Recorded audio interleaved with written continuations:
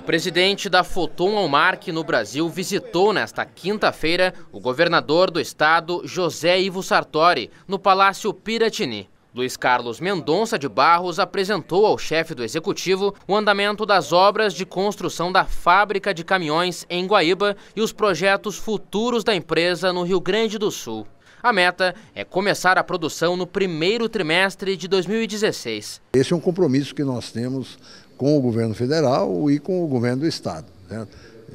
Nós já temos o produto, nós já apresentamos aqui a, a sociedade, é um caminhão de 10 toneladas, com 75% de componentes nacionais, boa parte deles gaúchos. De acordo com o governador, a ideia é superar os problemas financeiros do Estado através da captação de novos investimentos. O interesse nosso é de que se supere isso com os investimentos que são necessários, a oportunidade, a ampliação de investimentos ou investimentos novos que são importantes para o crescimento e desenvolvimento econômico do Rio Grande do Sul.